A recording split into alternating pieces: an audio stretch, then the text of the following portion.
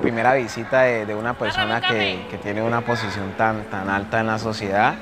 y pues esperamos que lo que ella ha visto aquí eh, la anime a seguir apoyando y aportando a estos procesos que tanto benefician a, a las personas. Este es el ejemplo que se debe dar para que los jóvenes y las mujeres y los hombres que tienen aptitudes y que quieren tener una, una formación eh, mucho más académica y que la puedan utilizar para hacer unas empresas y, emprendimientos culturales, pues este es, este, este es el ejemplo para hacerlo.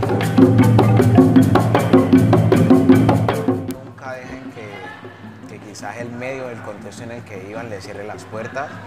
y pues la educación es poder.